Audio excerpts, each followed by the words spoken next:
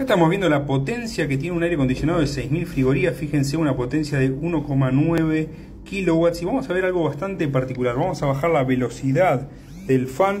Fíjense al bajar la velocidad del fan lo que pasa. Ahí está el máximo. Vamos a ponerla en mínimo, la velocidad del fan. Ahí estaría en la mínima velocidad. Fíjense lo que pasa con la potencia y van a ver que la potencia, a diferencia de lo que uno pensaría, que por ahí piensa que al bajar la velocidad del fan baja la potencia, no, la potencia empieza a aumentar.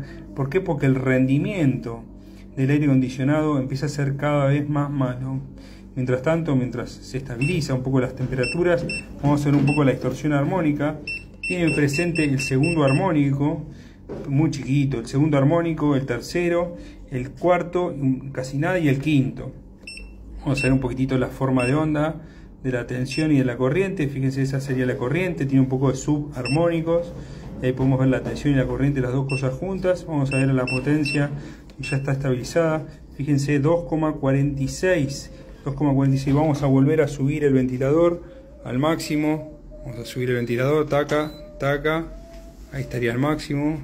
Sí, ahí está el máximo ahí se siente el ventilador. Fíjense cómo empieza a bajar, estaba en 2,53, 2,52, hasta que se estabilice en 2,51. Este es un aire acondicionado marca Filco de 6000 frigorías que tengo acá en el living. Acá lo puse en 27 para hacer la prueba para que no me corte. Ahí se siente bien el calor. Obviamente tiene mucha más eficiencia eh, al trabajar con, con la velocidad alta, fíjense cómo va bajando, 241, 240, 239, hasta que se estabilicen las temperaturas. ¿Por qué pasa esto?